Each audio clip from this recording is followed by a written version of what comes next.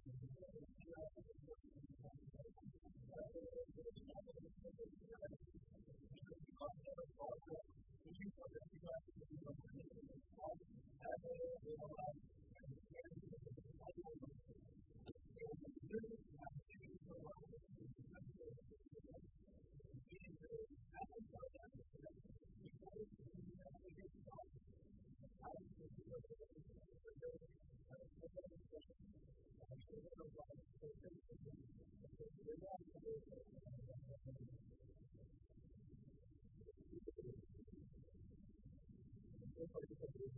you.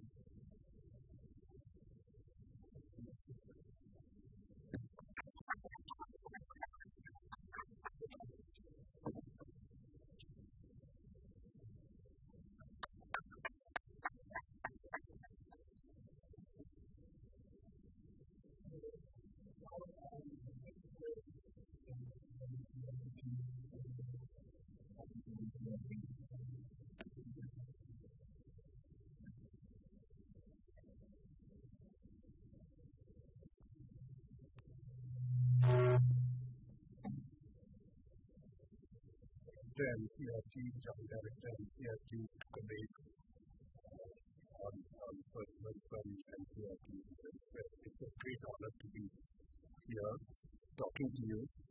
The reason I think I'm going to be addressing you is that uh, for the last almost more than a year, uh, there was a committee which was formed to look at design thinking and innovation in schools by CBSE and uh, religiously, almost without any exception, we met on Friday mornings uh, of the last year, and uh, we put together a curriculum which we think will be really good for the students. Okay, so so that's the background from which I come. You know, I teach in the discipline of design. I've been at IIT Bombay for the last 42 years. Okay, but I'd like to just uh, tell my journey into design because uh, if I say that right, uh, maybe you understand how design thinking is a bit different from learning other subjects.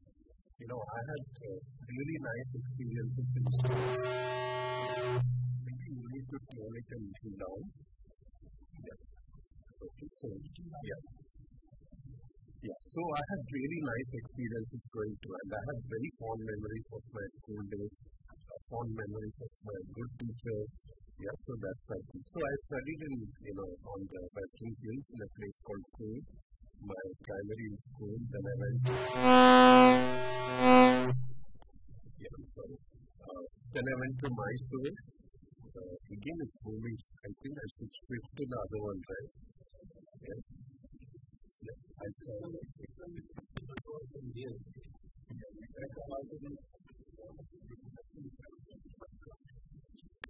Hello? Yeah, I think this is better. Yeah. So I went to Mysore to my secondary school and then to Bangalore and then to IIT Madras to do mechanical engineering.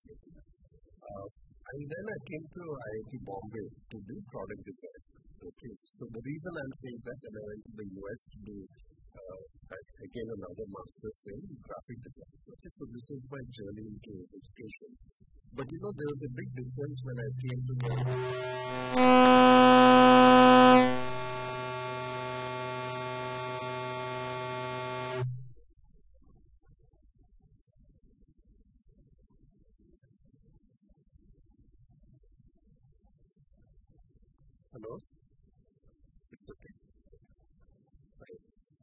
So, so there was a big difference in the way I learned things. You know, that was, you know, IIT was very structured, analytical.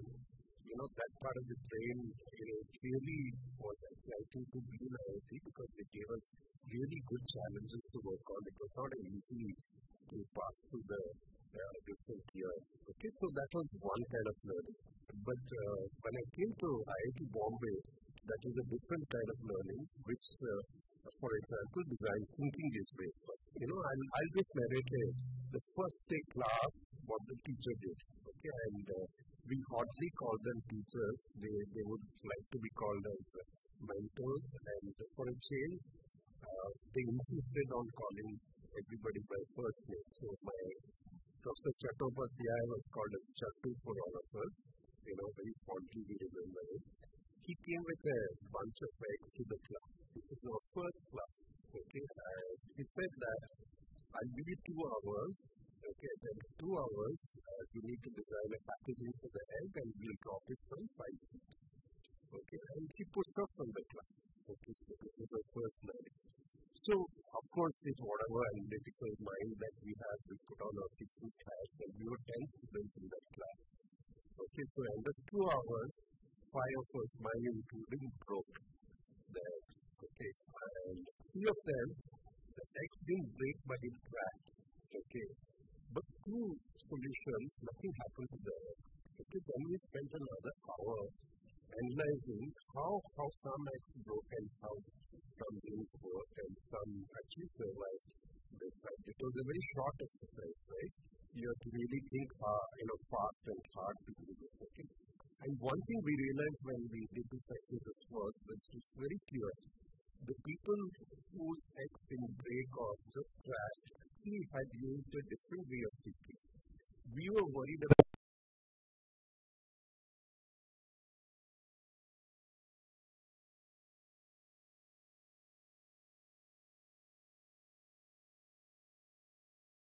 which fell to the ground, for, for example, didn't break. Like, for example, one student had used the analogy of a cat jumping from first floor but would land softly. Okay, so he had used the mechanism of what it requires to land softly as a principle to design his packaging. Okay, another person had actually used the principle of seed. He put a fan on top of it, so when it falls down, it, it, it falls circularly you know, and so it doesn't really get damaged. So, so it was very clear. So you had to have a different way of uh, thinking here, you know, where you actually thought horizontally and then come out with a solution. So that's one nice example, okay. So I'll give you another example to say how design thinking can be used very effectively.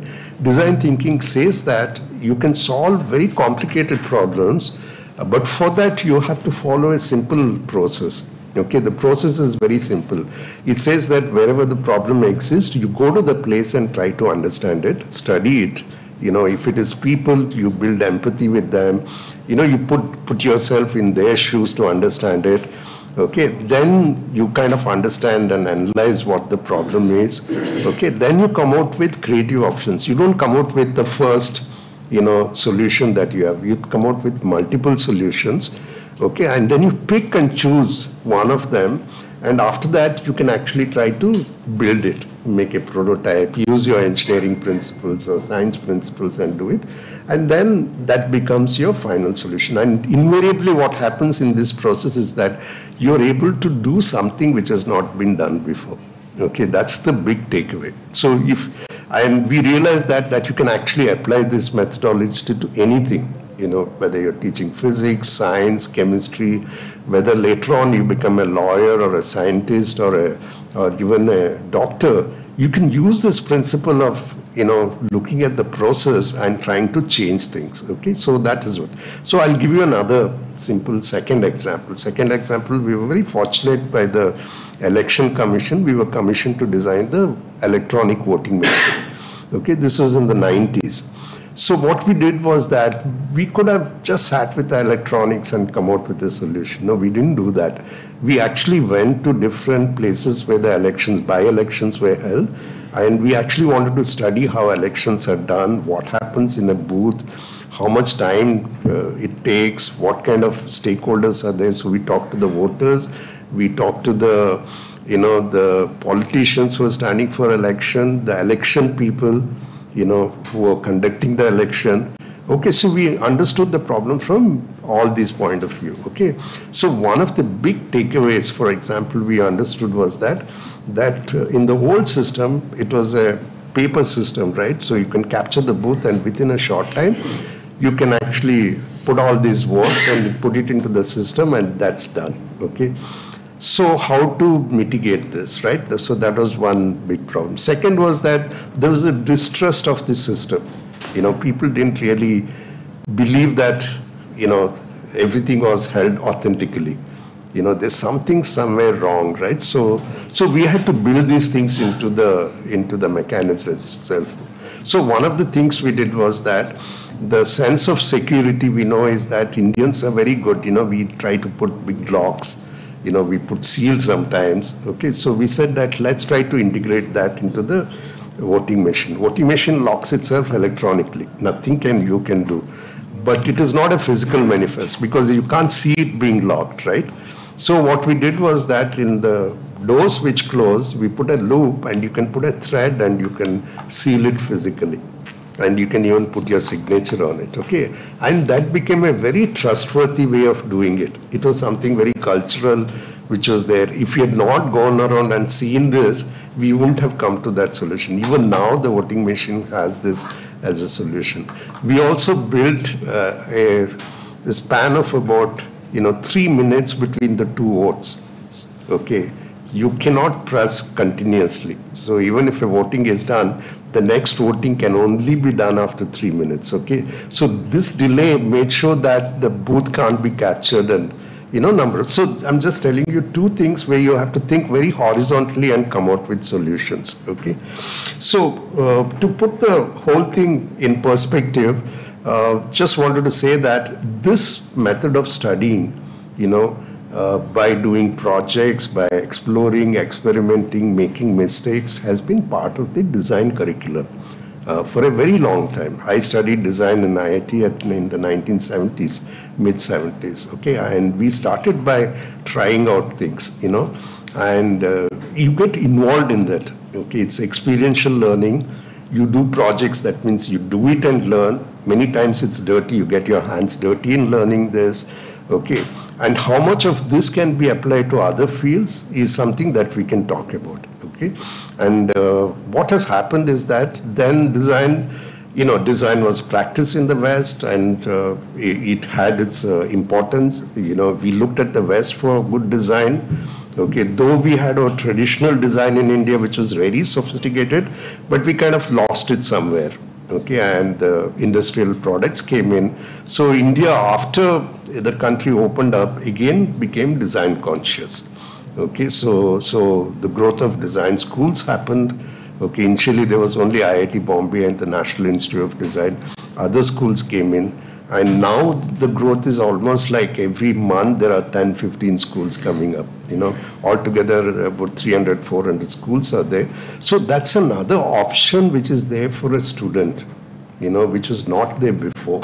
You know, so so they go into the creative industries Okay, so that is one track you can think of. Okay, but I think more than that, what we are saying is that if you actually apply the principles of design thinking into physics and make learning of physics much more enriching, that's one way out. Okay, so this is what we've been doing. At one end, you can go through a program of design thinking, take its principles and apply it how you can actually teach better.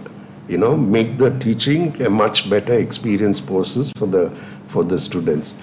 At the other end, you know, you can use the design thinking process as a creative discipline so that the students learn the fundamentals of design and they become creative problem solvers. Okay, but ultimately, even if after passing out, if they don't pursue design, this knowledge they would always have it with them. You know, whether they become doctors or something else, they would go and apply this uh, knowledge to whatever discipline they're trying to do. Okay, so uh, so just wanted to ask you, does that little bit make it clear what could be design thinking? Yeah. Yeah.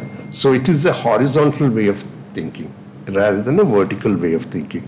You know, and a lot of sciences, maths, everything, you solve the problem very vertically. There are steps to do it, and if you go through it, you actually find the answer. And typically, there is one answer. Okay. Whereas in design, you actually try to solve the problem, you come out with many solutions. And it's always a challenge to pick up the right solution because there is no one way of doing things. You'll actually discover there are many ways of doing things. Okay, so that is the big difference. Yes. It's like divergent thinking. Yes, divergent thinking is another name for for the same thing, the process. You know, uh, lateral thinking is another name. Out of the box thinking is another name. Okay, so what we are doing is we are saying it, it, it is not something which is, you know, or in a, comes in a jiffy, but you can actually follow a process and everybody can learn it, you know. Otherwise, you think, you know, this student is creative, it is, he's born with this creative ability. What we are saying that everybody is creative, is just that you have to exercise your creativity. And to exercise that creativity, if you can use the design process, it becomes easier to do it. You know, that's the only premise on which we've done it. So for the last one, one and a half years, we've been, you know, working on trying to develop a curriculum. I have just, uh, you know, two sample books here. Uh, this is for class six. So I'm going to just circulate, but I'll, I'll, you know, go through the slides here. You know, one is, uh, we said that, you know, roughly, uh, if you have to learn design thinking, you have to learn through problem solving. Okay, it is a hands-on exercise. Okay, uh, it is not a theoretical subject. It's only when you apply it you come to understand it. Okay, so we said that one of the things we decided was that we'll not really have textbooks, but we'll have task books. Okay, task books are problems that are given which the students will solve with the help of the teacher and the teacher kind of mentors the students to solve it. They come out with many solutions you know, and they get confidence in doing it. And you can increase the complexity of these problems from year to year. Okay, so simple problems to bigger problems, uh, problems which are very, you know, uh, near to them in the initial period to problems which are like, let's say, world problems at the at the 12th standard. So we said that let's map these things and then do it, you know. So maybe if you can put on the slides, we can go into this.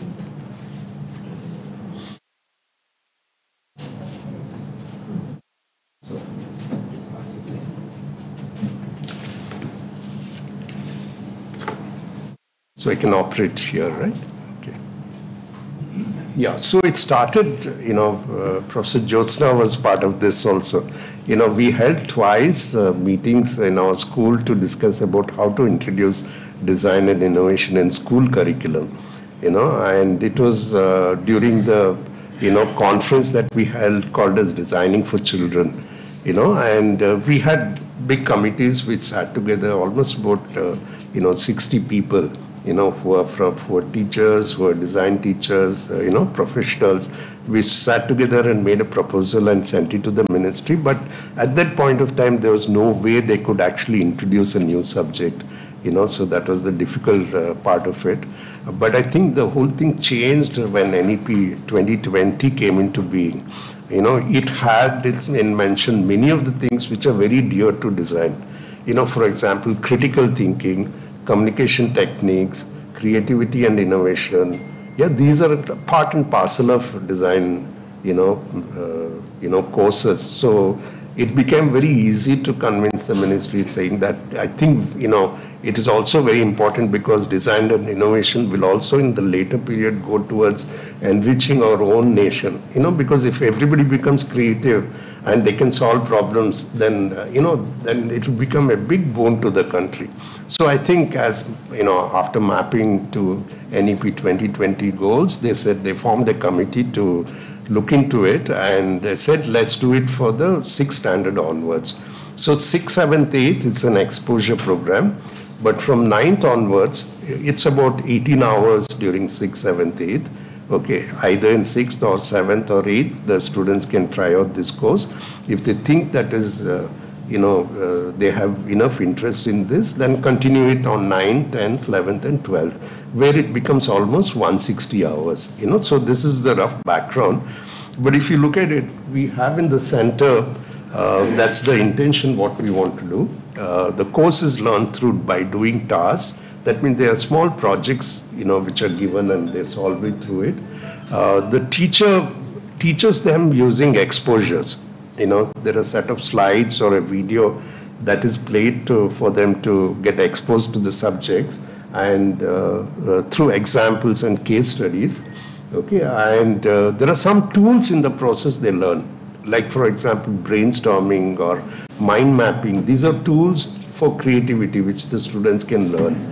Okay, and uh, they learn the process of how to solve the problem. Okay, so to do this, we formed a team there uh, because the content creation was very important. So the experts added to this, and whatever we did, we gave it to the teachers to go try it out with. Uh, you know, students and get a feedback, and we incorporated this feedback into the task books.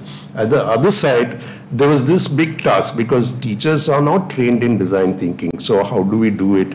So we've created a teacher's manual, uh, which is a much more detailed aspect of this, and we are actually going around the country, you know, in different places, training the teachers who who would become master trainers, and they would teach. Uh, uh, some more teachers. And uh, in this endeavor, the ministry's innovation cell, uh, cell has been a big uh, help to us. You know, they have conducted design thinking course for almost uh, 70,000 teachers. Out of that, 30,000 teachers have become innovation ambassadors in this school they're all very highly motivated. So it's really interesting for me the first time when I go and conduct these workshops to see that kind of energy in teachers. You know, it was really, you know, very uh, for us very encouraging that you know something like this can be done so nicely in our country.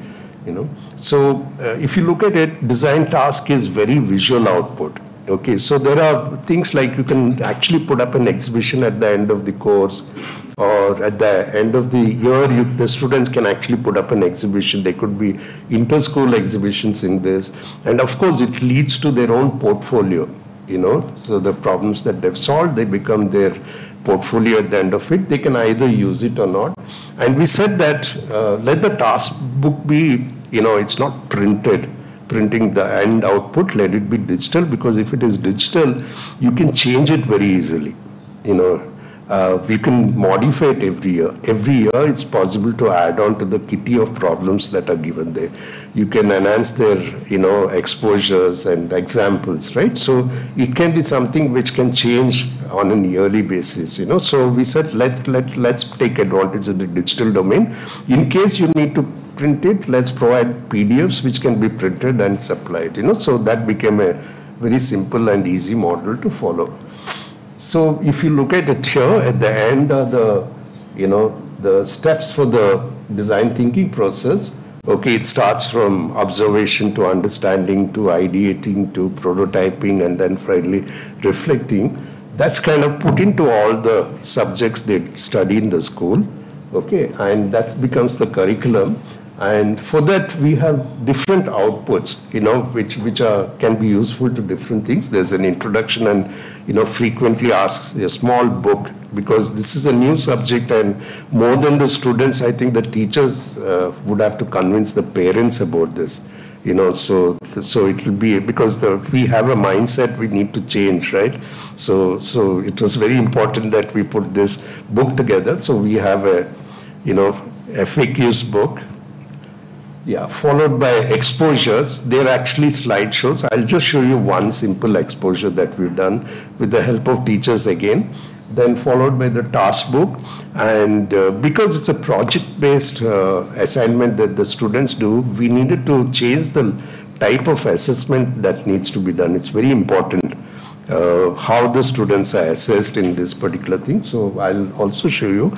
And at the end of it, they actually give feedbacks which can go on to improving what we do in the next year, you know. And of course, the end is the teacher's manual, and they become the different modules in a particular grade.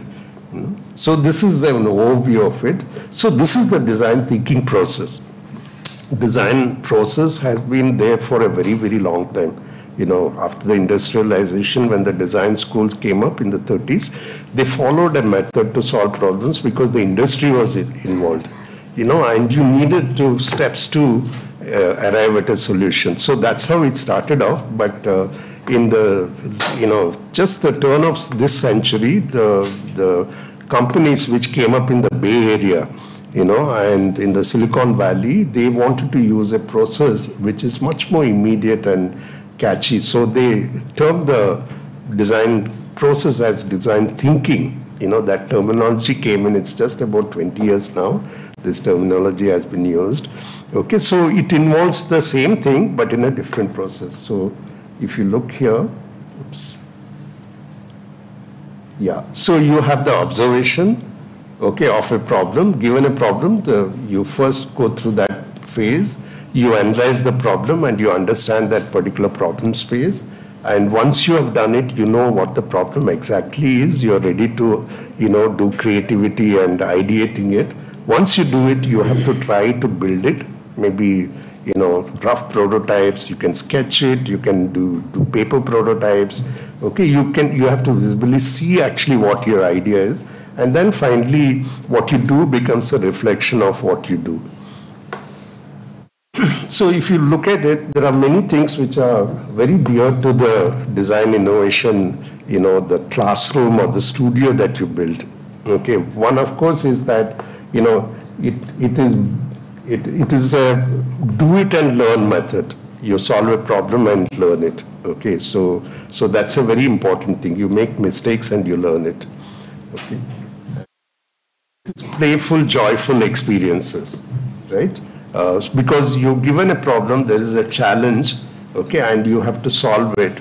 Okay, so so it becomes like a puzzle solving, right? It is like playing a game, okay, but you're actually solving a very important issue. You know, you can take up such important issue and solve it in a very interesting manner.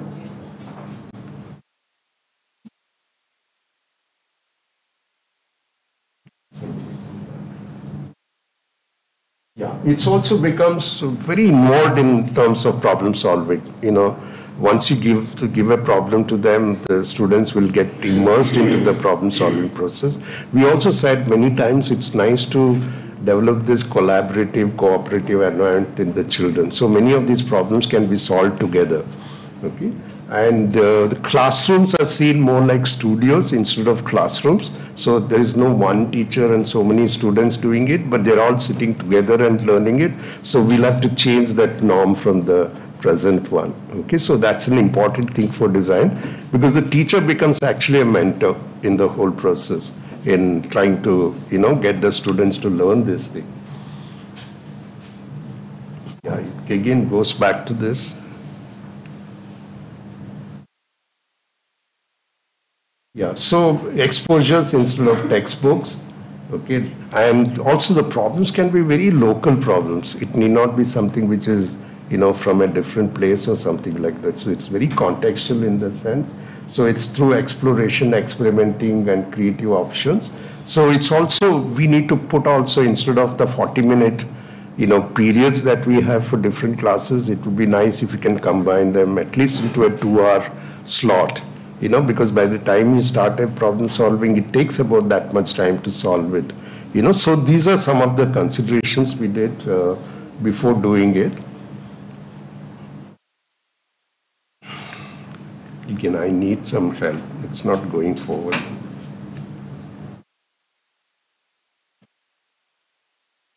So this is roughly the process, you know, lesson plans, overviews, Okay, then uh, you know competencies, learning aims and objectives. We also matched it with uh, SDG goals, uh, which comes to modules and submodules. It's through exposures, tasks, and references are given.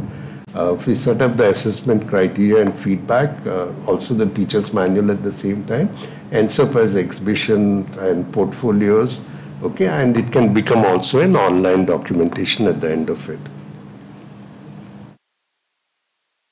Okay, so if you look at then from a very broader perspective, right, uh, it celebrates uh, India, okay, and uh, and then goes to the international perspective. So the problems like six standard, they start with local problems and they go into global issues later on. So that's one mapping that we can do here. The other mapping is that they start solving problems which are very dear to them then maybe their friend circle, then their families, then you know society, and then the community and the, the world at large. You know, so from 6 to 12, you can map that. If you look at the last 200 or 300 years, the whole emphasis has been on humankind at the cost of everything else. Okay, so we have to shift from human-centered to life-centered. Very, very important thing that we need to teach the children. So most of the problems are not about solving just problems for us, but solving for the life on earth. Okay, so that's another emphasis. The other emphasis is that we've actually created a very unsustainable world. Yeah, the last 300 years again. Uh, so we have to again shift the emphasis to how to make it sustainable, how to use sustainable materials. It has to become part and parcel of every course, not just design.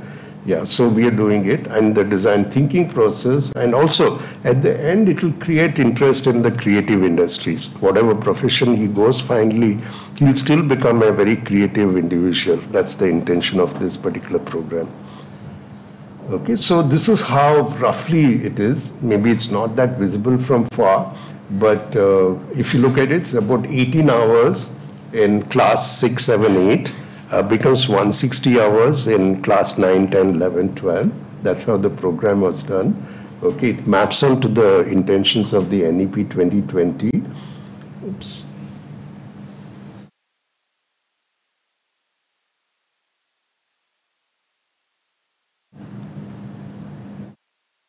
Yeah, it uh, maps onto the intentions of the NEP 20 and uh, a lot of visions uh, to do with creativity, fostering, you know, working together, you know, the design process, okay, identify problems and be able to solve it, apply design thinking to it, okay, and learn fundamentals of design. So these are the, and competencies wise, you know, creativity, communications, you know, skills, uh, sensitivity to design, okay, identify problems and be able to analyze it, okay, explore creativity and its options, okay, solve problems and prototype and build objects and also match it with some of the SDG goals, you know, so that was part of the uh, program. So if you look from 6 standard to 12 standard, it starts with basics, basic skills, and then comes to, you know, solving problems with creativity and thinking, and later on goes into you know looking at different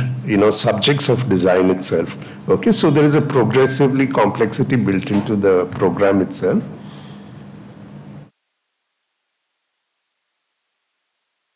So this is a glance at the sixth uh, standard uh, program. Okay so it has got fundamentals of uh, design and storytelling. That's the first module, which is just a three-hour module. Okay, so if you look at the problem, uh, it can be changed from year to year. But in the in what we've suggested is that they look at uh, basic elements of design, very basic elements, and they actually create a puppet at the end of uh, these three years, three hours.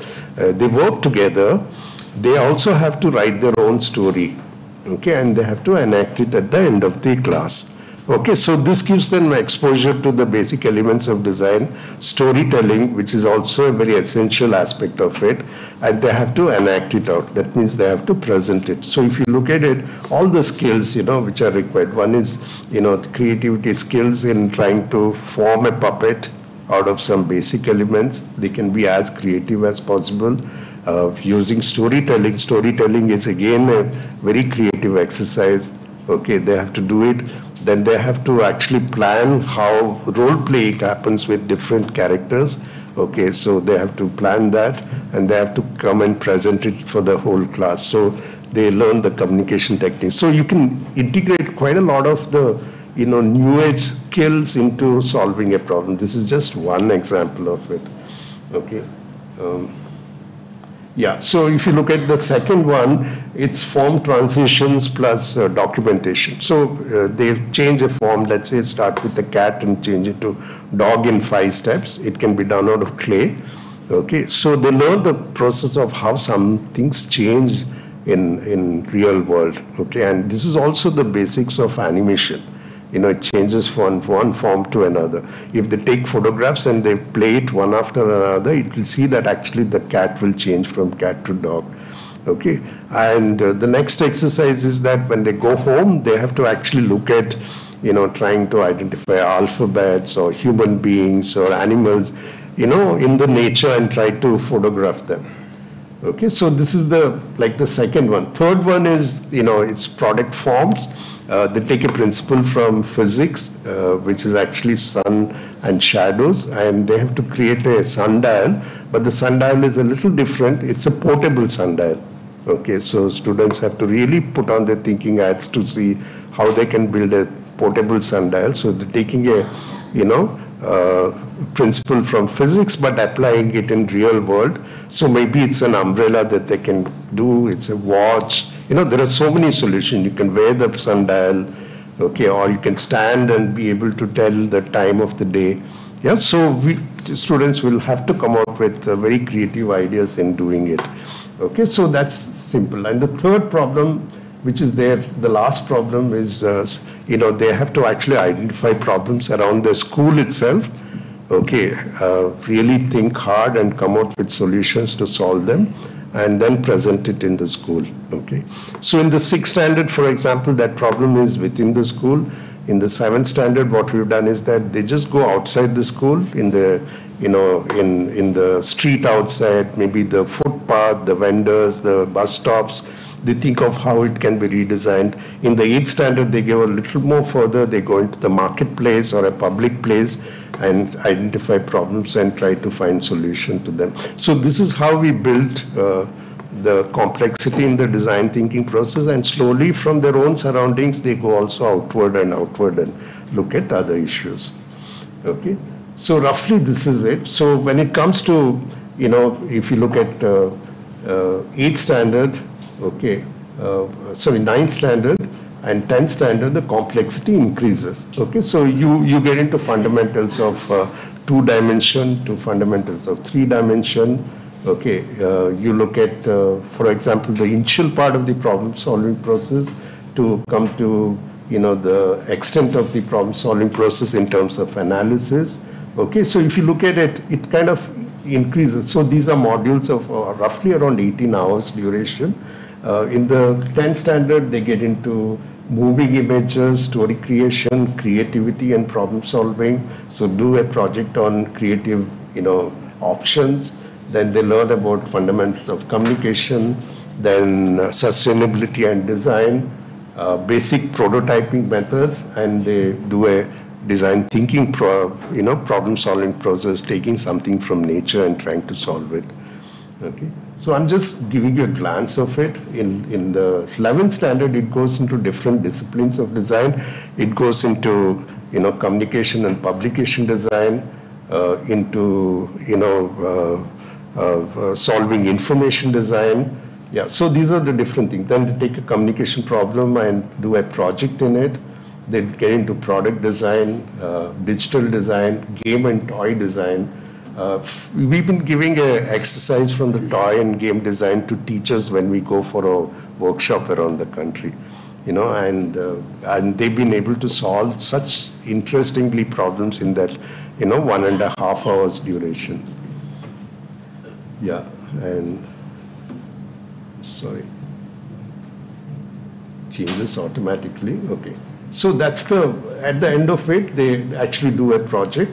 In the 11th standard, they do projects of different dimension. See, they do a project which is uh, in the personal space. That means they can do their jewelry, their watch, their shoes, clothes they wear, you know, something which they carry with themselves. Next to the social dimension, that means they solve problems which are shared by people you know, so they have to look at communication and solve those problems. In the third instance, they solve a public design problem. So you're just going outward. And we also have a module on Indian thought and tradition because uh, if you look at it fundamentally, Indian thought and uh, tradition had so much of uh, you know knowledge which was actually given, especially if you learn music, sculpture, yeah, or architecture the essence of it is so much, but it is not there as part of our learning systems. So we thought that at least a you know introduction to that particular subject might actually excite the students into thinking in that particular dimension. And the last project is a four-month project, which they can either do it alone or with a colleague. Uh, it's called the Capstone Project. So this kind of summarizes the the program. You know, I'll pass the six standard. Uh, you know, task book to see, you know, how it can be done.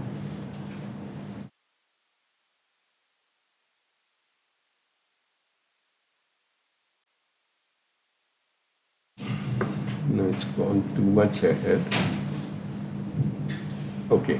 So there are different complexities. Just look at the problem, right? I said that you start with the problem from your own surroundings, then go outside the school, then a little more. Okay. Then you look at, like for example, in the ninth standard, you look at waste generated in the school, or go and redesign, you know, your primary section of the school. Okay. In the 10th standard, they explore alternative to things which are of public concern, then design with nature and environment. Okay, so you look at it, it's kind of increasing. Then in the 11th grade, they do a communication design problem. Also, they learn about how to do your own startup or your enterprise, you know. And uh, uh, in the 11th standard, in the second semester, they do product design and again a startup enterprise. And the 12th standard, as I said, it's full of projects itself. Okay, so this is just looking at the projects that they handle in the different grades uh, and how it changes. Okay, and uh, we also said that let's look at uh, grading itself as very, you know, dear to the students. So, so we didn't want to give any fail grades. We wanted to be all encouraging grades. So it actually the starts from beginning. That's the lowest grade, then to developing, then to promising, proficient, excellent, and outstanding. This is what they'll get in the grade sheets you know. So it will always be encouraging saying that you know i've achieved this particular this one. And to make this happen we've actually thought of a matrix uh, with different criteria which the teacher can use to grade them. Okay so if it fills all if it fulfills all the criteria then he gets the excellent grade you know. If it doesn't fit any he gets a beginning grade you know. So this is how we translated them into into grading itself Okay, so there are a lot of issues still to be sorted out. Okay, uh, I'm saying what is the minimum number of hours one needs? That's an issue that we need to think of. What is the ratio of homework to school work? That's another issue. We've kind of said that two is to one. Okay. Uh, it should be based on learning objectives, activities, and outcomes, and it has to be evaluated. And also in the initial period, what is the amount of access to technology? Because there are a lot of places in schools you don't have any access to technology or computers. So we've taken that the problems can be solved without a computer, without access to technologies. You know, still you can actually go through this particular program.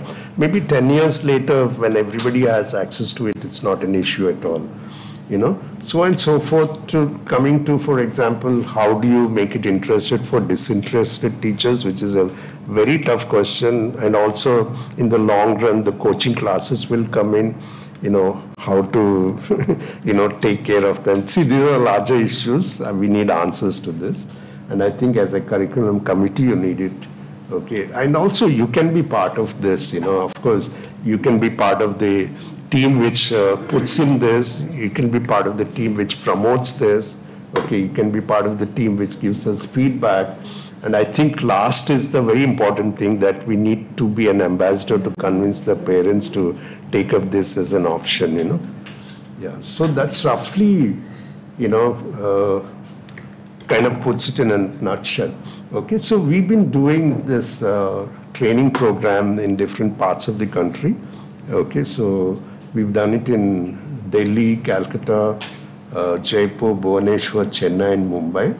Uh, roughly about 60, uh, you know, either teachers or principals come and attend this workshop. It's a one-day workshop where we, you know, tell them what is design thinking and make them go through different exercises. At the end of it, they even do a toy design exercise for about two, two hours as groups, you know, four, five teachers join up and do and they've done excellent work. You know, they all design games and toys. Okay, so here you can see that uh, you know they've designed so many different toys to explain principles of sound. Each one will make different types of sound using different this thing. This is all that they did in you know two hours, and uh, the teachers had to come and make a presentation at the end of it. Yeah, you can see here he's made a robo man to explain again principles of different principles and uh, it's narrated as a, as a story at the end of it. Uh, this is the outcomes of the workshop. Yeah, so we have a team here, you know, which did this program. Uh, there's the committee members, plus also a lot of help from both teachers and the designers. That's how we put it together. Uh, that's roughly the composition of the team here.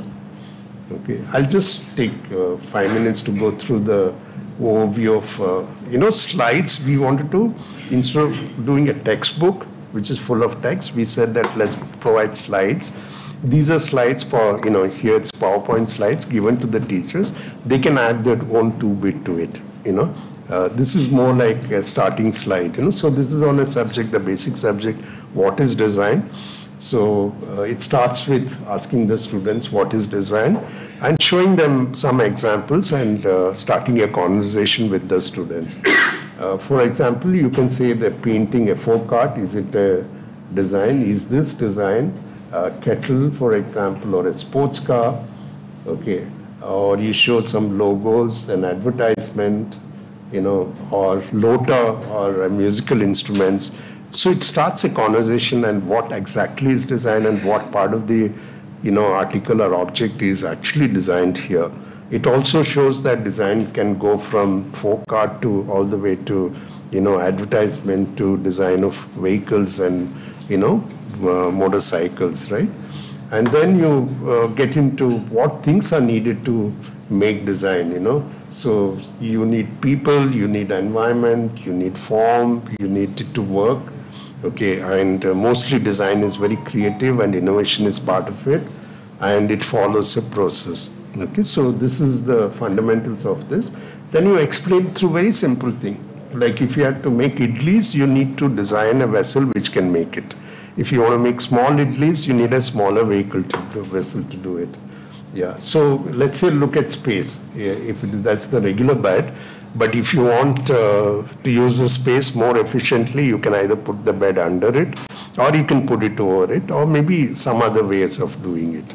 Okay, so this is how design starts uh, making a difference.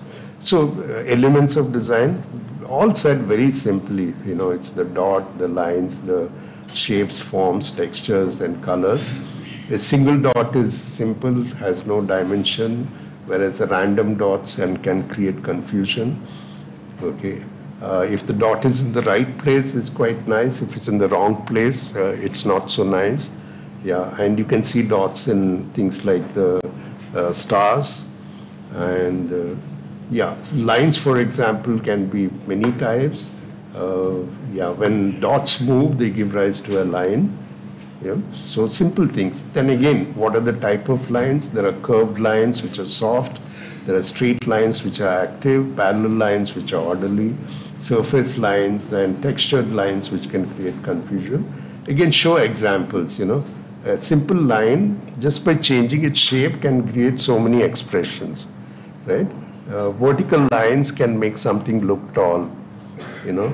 And to bring in order, we stand in a line. A zigzag line, for example, can create a, a feeling of adventure yeah, so very simple exercises, you know, teachers can add to it. Yeah, we give this is for all the subjects. Yeah, yeah, and shape go on to shapes. There are different types of shapes again. The types of shapes, you know, these are the simple shapes and uh, two-dimensional as well as uh, three-dimensional. Yeah, and uh, you can do many things with the shapes again, right?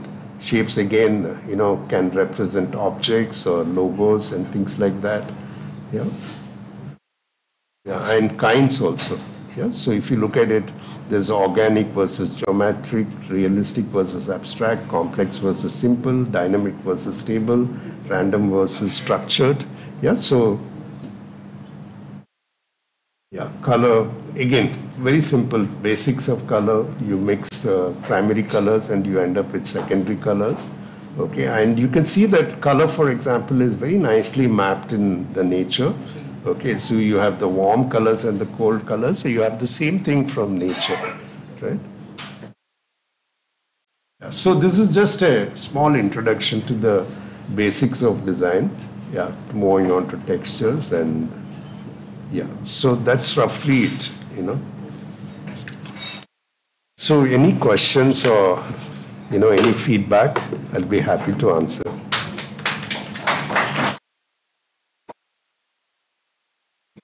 I hope you it gave you a glimpse of what we are trying to do. Sure, sure. Thanks.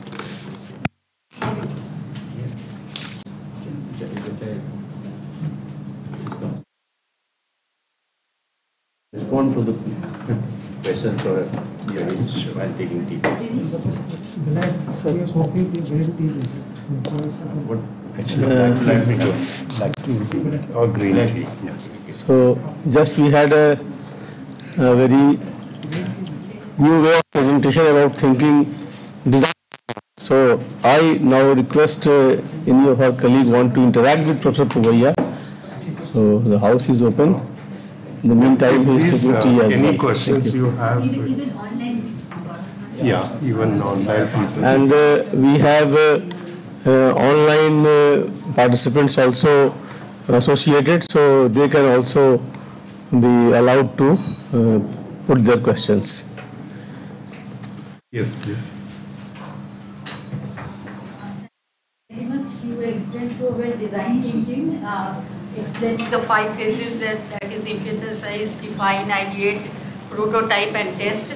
Uh, my question is that in STEM education there is a component engineering. So there in engineering component also we move in the same manner. Sure. So how it is different from E of STEM? That is my one question. And second thing is that can we integrate design thinking in subject because uh, uh, if it is related with everyday experiences of the student, their immediate context and surroundings, so it will be helpful for them to grasp it. And the third thing is that education is all about developing thinking in various dimensions. So this is also a part of creativity and uh, uh, problem solving and critical thinking and evaluative thinking, analysis, synthesis, all this. So if it is integrated, then uh, do you think it will be uh, more helpful for the student? Of course, it is a tedious uh, task for the teacher and uh, curriculum developer, but we think it can be done. Sure. I think you kind of answered all the questions. The first one is that, you know, the engineering uh, uh, way of doing things, they've realized that design process is very, very important. Okay, so they've integrated the design thinking process into engineering. That's why you find it's kind of similar. Maybe 20 years back, if you had studied that subject, it wouldn't have been. You know, like the way I learned engineering, it was very vertical. You know, you had only one answer to everything. But now I think the divergent thinking is very much part of engineering. They've realized that it's very essential. The second question that uh, that uh, how to integrate this into the school system or studying any subject, uh, it's just that you have to reframe the question. Okay, and I think you intentionally, you know, NCERT has it in its ethos to do that. Uh, for example, you want to make it more interesting to the children. Okay, so if you want to do that, if you actually look at the design process, right, it starts with observation. Any subject, if you observe, it's much easier to learn than if you do it through a rote mechanism. You know, that's the starting point. So if you look at it, it's nothing. Next one is after observation, you need to analyze it. You know, you have to discuss, you have to think about what you observed. You know, so it could be like that uh, physics principle, light and shadow. You first ask them to probably observe shadow and light in their home, what happens at night, how does the bulb cast its shadow. If the bulb is diffused, how does it cast a shadow? Then you have a small discussion in the next day in the class. They already uh, have figured out, you know, what, how light behaves, right? So it's very easy to do that. Then if you actually give them a challenging problem within this particular problem, right, where they have to think and think of solutions, maybe you can ask them, the simplest thing is if you ask them to design a toy with the principles of light, I'm sure all your students will come out with different ideas. And for to come out with that ideas, they would have gone through the whole process. I mean, just that's just one instance of how you can make it nice. And when they make the toys, they'll use paper or cardboard or you know old newspapers to do it. You know, so they actually build it, and when it is tangible, it's something they'll never forget. You know, because you built it with your own hands, and uh, you come to the class and you made a presentation. So you're actually building a lot of uh, abilities. You know, you ask the students to present, so they become confident in what they're doing You know, many of them remain shy throughout the school education, right?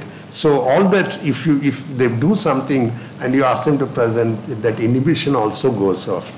Okay, so in that sense, it is a very simple thing to adopt, you know, and it can be applied to any field, you know. So that's the, I think the beauty of it. So we are saying that at one parallel level, please, you know, take uh, the uh, takeaways from design thinking process into all subjects that you do. But parallelly for students, you can also have a discipline called as design thinking and innovation, where they actually are able to express their creativity and look at problems around the schools or surroundings or neighborhoods or maybe even the world and come out with solutions, you know. So at the end of it, they'll become very confident as uh, people who can actually look at probably even identify problems and be able to solve it. I think if you can achieve it, you can imagine what the country would be. The parallel is like this, you know. So eh, China and India are very nice examples because we similarly have similar issues to solve. So uh, if you look at China, the way it got industrialized was that it didn't have the technology. So they invited people to come up, set up uh, factories there. Uh, they actually almost import everything of it. But they knew that we can't remain at that level. We can't be just a place which produces something for somebody else, right?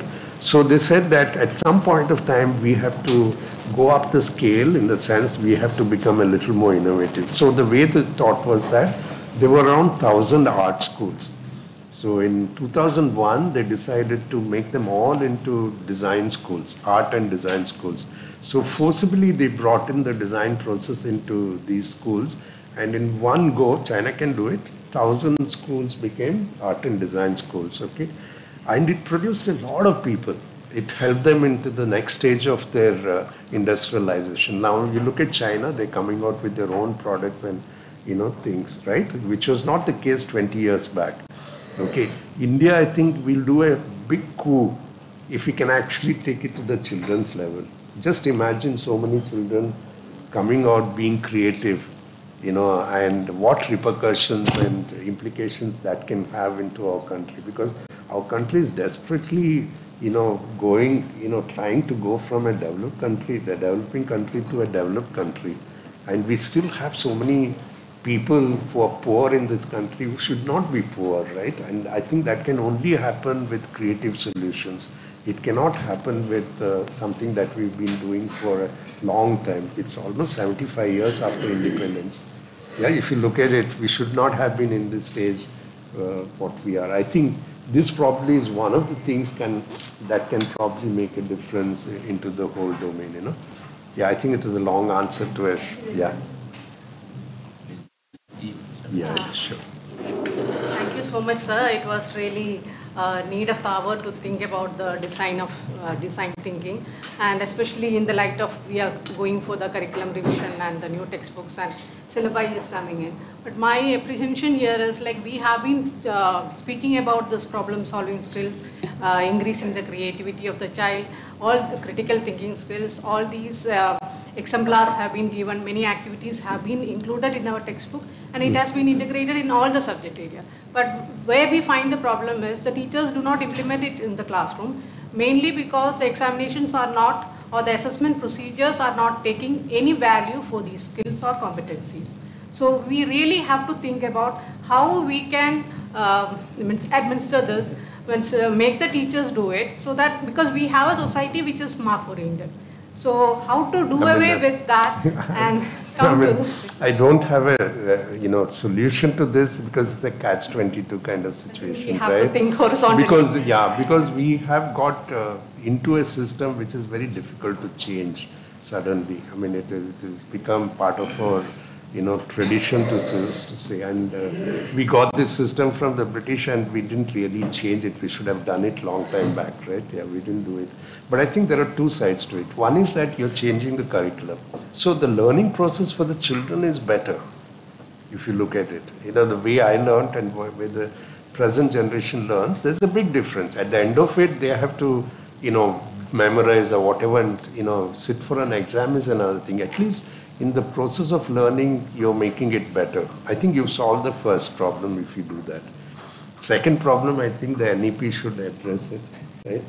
I mean, there are larger questions, you know, for example, one of the dear questions which we IIT, for example, asks all the time is that because we have created a system of exam, the JEE, which is an extremely difficult exam. Okay, of course it can see out people and get the best out of them, but it also makes so many children's life miserable. You know, because if you get into IIT, it's one thing, but if you don't get into IIT and all that, you know, you spent your nice period of your life actually studying for something which has not been beneficial. So I think these systems need to probably have, have a rethinking, and I think it's time to do that. And I think NEP that way, you know, yes. I mean, we all like it because at least it has become, uh, you know, uh, a gateway to change things, you know. At least we have a reason to change things, and I think it's a good time to question. Yeah. There's no ready answers to what you're saying. For that, we have to understand first that we have to change our thinking pattern. Before designing thinking, pattern of thinking must be changed. He has rightly said that the hmm. colonial system and that set of mind, which was not earlier, that's why we could create this much literature, art, architecture, Shulba Sutra, Sutra, Samarangan Dhara Sutra. Eh? So many, and you see the design and architecture and the carvings and the miniatures and arts and, and the literature even. Right. What do you think if this, this much literature has been create, uh, composed in ancient time, why we are not able to compose such type of literature now? So this requires thinking process has to be changed. And we this is some sort of, you know, addiction. This time we are addicted to this type of system. So we have to de-addict ourselves first, decolonize mindset first. And also I think the middle class uh, yes. mindset also needs to change. Yes. Because see, it was too much against two, I mean, for two disciplines, which was engineering and medicine you still at heart you want your kid to go into one of these. Don't know for whatever reason, but there are so many nicer areas which have come up, you know, and you can do well in many disciplines now. It is not the old system, right?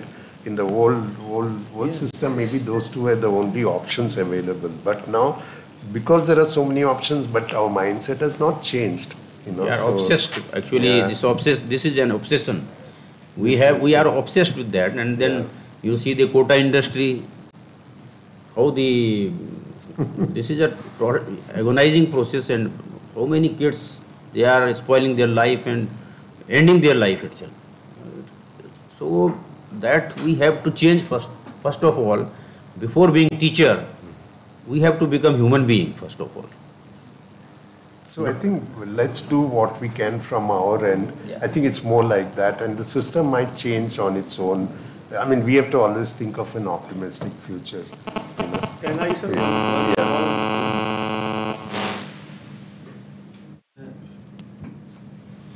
You rightly mentioned that about uh, design thinking, uh, a curriculum has also been thought of and it is being tried. Children become a real design thinker. But I consider more important that uh, we should really bring some change in the behavior and attitude of our teachers as well. So because those teachers who are uh, uh, actually handling these children, uh, they are uh, Uh, having uh, a fixed and rigid kind of mindset. So, and that is very important because uh, in one of the discussions somewhere I have listened about the emotional intelligence also, whether that can be trained or not. So similarly for design thinking also, we can really some kind of training of our students uh, uh, and you are doing it and uh, but before that I consider that how to do with the teachers. Yeah, I think, you know, uh, Dr. Ellen, he, he can sh show his examples. You know, I don't know, uh, for, for me that, you know, their support was very essential in all this. You know, what they did was that they actually uh, had a course called Design Thinking in which about 70,000 uh, CBSE teachers took that course. It was not forced, it was an optional course, but they actually went through, I think, 75 hours of learning, right? 72 hours of learning they went through. And uh, uh, if they could answer a few questions, I mean, uh, there was a, at the end of it, uh, there was an assessment, and if you pass, about 30,000 have passed through that, and they've been made as the innovation ambassadors. Okay, and uh, uh, for example, I don't know my experience. I have very limited experience in dealing with teachers, but uh, these workshops that we conducted, the energy levels and enthusiasm was so high you won't believe it. All of them said they're very keen on implementing these uh, in their own subjects as well as in in uh, in design thinking. So that was really heartening to see, you know. Yeah. So that has been our experience. So I think you probably can also change, you know. Yeah, I put that question there, how to change. Yes, yes, that is, you are right. You know, it's a, it's No, a, no, it's a tough. uh, training for teachers was discussed the first meeting when uh, Aveji and uh, Ellen came. They clearly said that how many teachers? 72,000? 14. Yeah, complete. yeah. So this is one thing. Right now, first of all, is the lecture is a way forward for framing our curriculum this time, syllabi actually. We are in two ways moving forward. Foundational stage, NCF is almost ready. Our syllabi committee and textbook committee will be working shortly. So for that, uh, we have people here to be in touch with uh, your team or Yeah. Aveji and uh, LNG, so that will take part. That is one thing. Second thing is for the teachers. So you have already a pattern for that. Means you are doing workshops and this and that. So through that and our technology, Professor Bera is not here, but uh, uh, through our this uh, Diksha, we can integrate this Sure. and we can take it forward. So that way we have to think this time exactly, practically we have to think. Means, uh, it is not that by uh, listening the one lecture we can change our thinking process or we can learn all the, the design thinking. Uh, This is a sensitization sort of thing Sure. which is going to happen this time and motive of for this lecture is the same because uh, few days back we were talking about innovations and all this and Aveji and I talked and then we could uh, uh, we could uh, uh, think that we should meet first. So that way we met and then we decided that in the meanwhile fortunately you were here Yeah, by chance. yeah. So we thought to avail this opportunity and at least have one lecture here. And uh, this again uh, our uh, PAC program is there. So this gathering is also from RIs, principals and deans are here and our faculty is here. So this time this is the best thing we could do. But uh, from here we have to start. So whatever support from our side, I think we are there to give, definitely. I worked with uh, Professor Jyotsna. We did uh, part of the team which did the graphic design textbook. You pursue the CBSC to start that course again, that's in a great demand actually. Right. So you can um, probably, because we have written to them, if they can ah. revive that uh, ah. course. I'll just find out. Yeah, yeah, yeah, I can do that. Yeah, sure.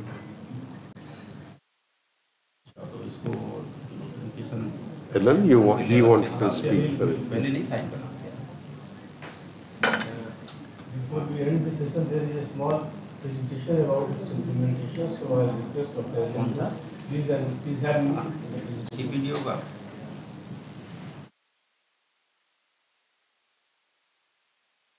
शायद इन्होंने पास कर ली जो आपने नाम भेजा पे हमने notification तो निकाल इसको दिखा हमने सत्रह तारीख को मीटिंग फिक्स कर दी। सत्रह को मीटिंग फिक्स कर दी फ़ाइल में भी एस आई सी। हाँ हाँ हाँ मैं भी करूँगा थोड़ी देर में भी मैं किसी मीटिंग में हूँ पाँच बजे के बाद पाँच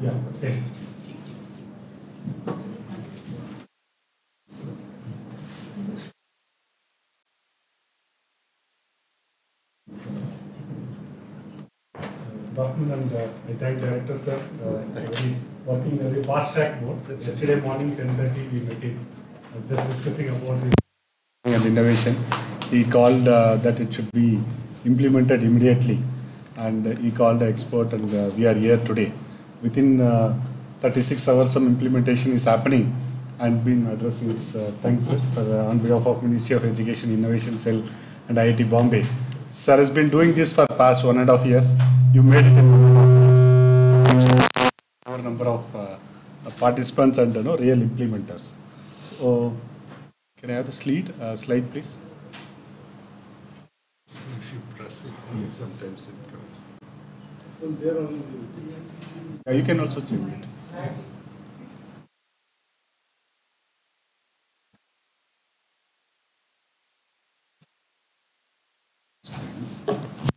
First, first slide. This is slide. Next, next. Huh. First one, first one. Yes, yeah. Uh, Thank you. Uh, The Ministry of Education Innovation Cell have uh, launched few initiatives for promoting the culture of innovation among school education. Uh, 2018 Ministry had launched Innovation Cell. We have been successful in past four years in implementing in higher education. We have more than 6,000 uh, institutions, say engineering institution, medical and architect institution, where we have been hand-holding them in implementing this innovation initiative. Whatever learning from that, we found that there is a gap which has been lagging. So that when a student comes to engineering institution or higher education institution, they have been, they don't have any foundation about innovation. Keeping that in mind, uh, we have been initiated this uh, uh, innovation at the school initiative. Um, so we had school innovation council. We have uh, school um, innovation ambassador training programs, which uh, professor was talking about, and also we have previous like this. So also we have our uh, uh, design thinking courses which have been made with that. And we have a national innovation entrepreneurship promotion policy for uh, promoting innovation. And we want to give guidelines to the schools how to implement this policy which has been first draft has been already launched actually. It's in the public do- domain now. So school innovation council we have launched first july. Our honorable secretary ma'am had been launched this. We have more than 1050 plus schools which have registered in this school innovation council where they carry out a, a system of activity. The council includes uh, the principal, vice principal, senior teachers, students, industry experts uh, involved in this process where we'll be completely hand-holding. It's a 360 degree. So where they start from the field visit, identify the ideation, prototype, product development, then we take him still funding the ideas and taking to the startup. This we have been very uh, successful in higher education institution. So this we want to replicate in a school education system. But Secretary Ma'am is very keen on implementing it and taking it to the next level.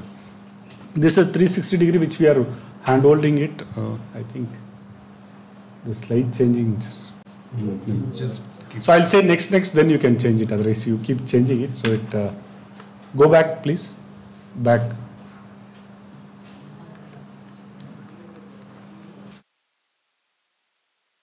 Yeah.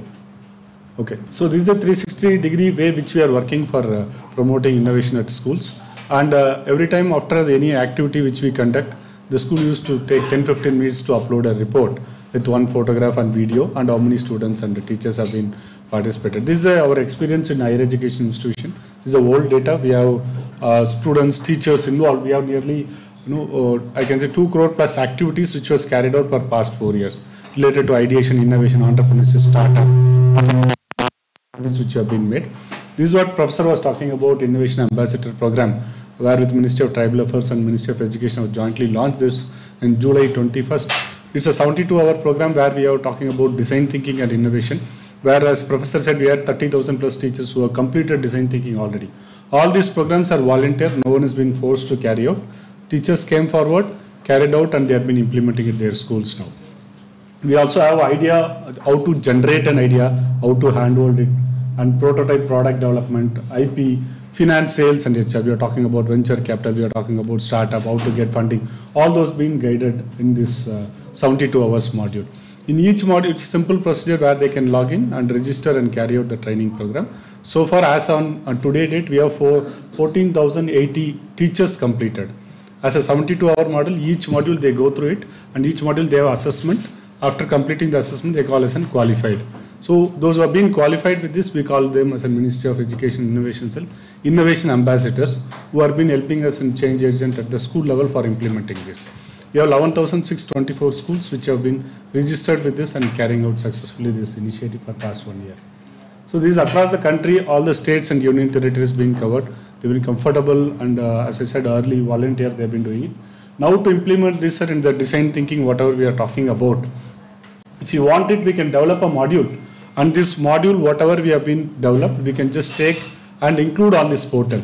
Because it's a self-learning where you know, the module-wise content can be onboarded. The teachers can go through it. We can give an assessment to them. After they complete the assessment, it, it becomes like, you know, they are qualified. We can keep a certain percentage of assessment and marks or uh, case studies what they have been solving it.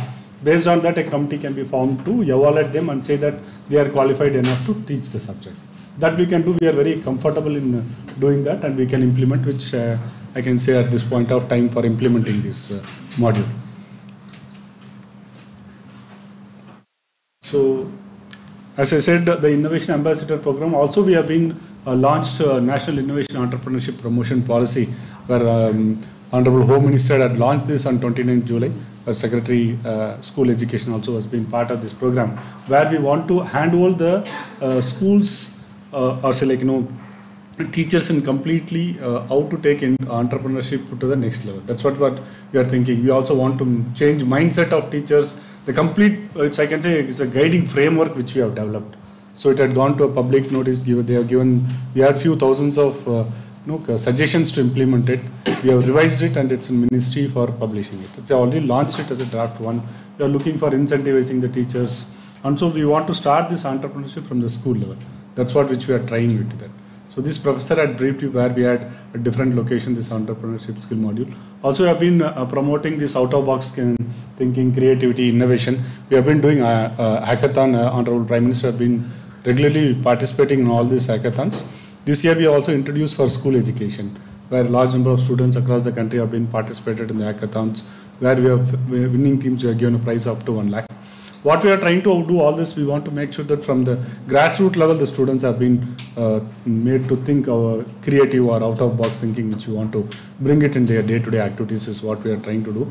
We want to bring many more startups. As Professor said, when the creativity starts, we are all talking about 5 trillion economy, which will help uh, it doesn't go happen within a school or within an institute or a premier nationally funded institution alone. It should happen at a grassroots level from schools so that it helps uh, whatever our uh, mission or vision of our Honorable Prime Minister has been set to us. So that's what we are trying to start this at from the school level. With all your support, I'm sure very much we can do.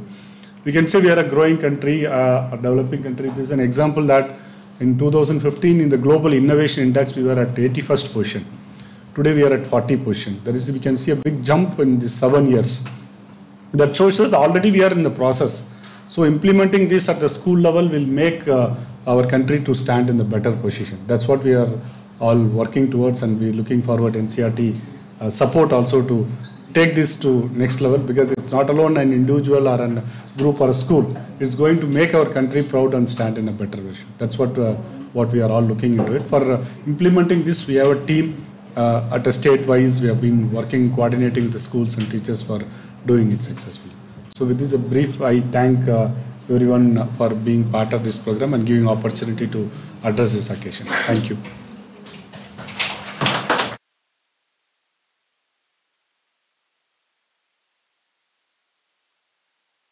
With this, we come to an end of uh, this session of uh, on design thinking and innovation, and uh, I take this opportunity to thank uh, Professor Ravi Poovaiah for sparing his time, and perhaps it was in a very short notice, but uh, he readily agreed uh, come to NCERT and delivered his lecture and uh, really enlightened us. And I also need to thank uh, Dr. Ellen was in a very presentation explained as to how this can be really scaled up and taken up in school education for the benefit of our children. And I'm thankful to Director NCERT that he organized a program for uh, faculty of NCERT for the benefit and his presence here. I thank uh, Joint Director NCERT, Professor Srivastava for his presence. And I also thank all uh, NCERT colleagues who have uh, keenly in this and interacted with the speaker. So with this, I really thank all the speakers and all participants here. Thank you so much.